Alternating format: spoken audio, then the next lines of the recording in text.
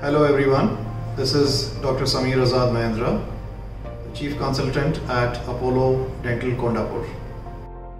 Today I'm going to briefly talk about the importance of getting a dental check done for your teenage children.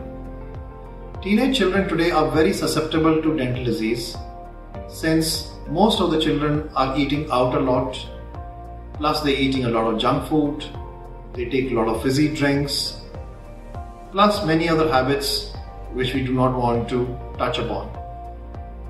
With all these habits of eating out, sleeping late, not taking care of their overall health, the dental health also gets neglected.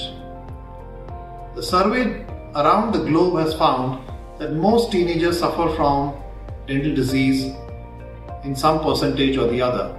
Either they have cavities, either they have bleeding gums, bad smell, etc. etc.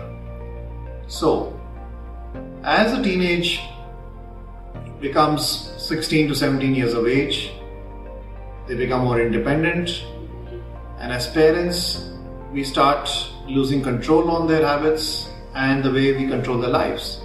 But one thing we can make sure is that try and educate them and make sure they come down to the dental office, get a general dental checkup done, which will keep their overall health in good shape.